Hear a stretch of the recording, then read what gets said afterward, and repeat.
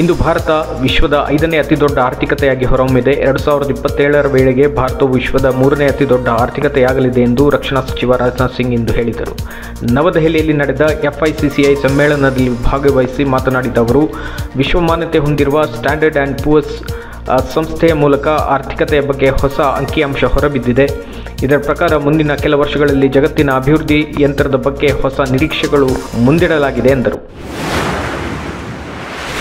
ಇತ್ತೀಚೆಗಿನ ವಿಧಾನಸಭಾ ಚುನಾವಣೆಯ ಫಲಿತಾಂಶಗಳು ದೇಶದ ಜನತೆಯು ಕೇಂದ್ರ ಸರ್ಕಾರದ ಮೇಲಿರುವ ವಿಶ್ವಾಸವನ್ನು ಸಾಬೀತುಪಡಿಸಿದೆ ಎಂದು ಪ್ರಧಾನಮಂತ್ರಿ ನರೇಂದ್ರ ಮೋದಿ ಹೇಳಿದರು. ಕೇಂದ್ರ ಸರ್ಕಾರ ಮತ್ತದರ ಜನಪರ ಯೋಜನೆಗಳು ಮೋದಿ ಸರ್ಕಾರ ಜನತೆಗೆ ನೀಡಿದ ಗ್ಯಾರಂಟಿಗಳಾಗಿವೆ ಎಂದು ಹೇಳಿದರು.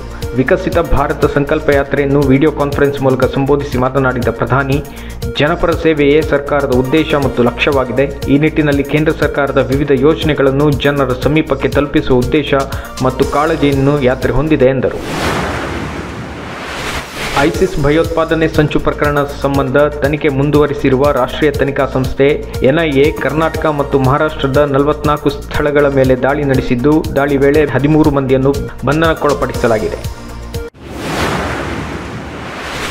ಕನ್ನಡ ಸಹಿತ ದಕ್ಷಿಣ ಭಾರತದ ವಿವಿಧ ಭಾಷಾ ಸಿನಿಮಾಗಳಲ್ಲಿ ನಟಿಸಿ ಜನಪ್ರಿಯತೆ ಗಳಿಸಿದ ಹಿರಿಯ ನಟಿ ಲೀಲಾವತಿ ಅವರ ಪಾರ್ಥಿವ ಶರೀರದ ದರ್ಶನವನ್ನು ಮುಖ್ಯಮಂತ್ರಿ ಸಿದ್ದರಾಮಯ್ಯ ಪಡೆದು ಅಂತಿಮ ನಮನ ಸಲ್ಲಿಸಿದರು ಇದೇ ಸಂದರ್ಭ ಪುತ್ರ ವಿನೋದ್ ರಾಜ್ ಮತ್ತು ಕುಟುಂಬದ ಸದಸ್ಯರನ್ನು ಭೇಟಿಯಾಗಿ ಸಾಂತ್ವನ ಹೇಳಿದರು.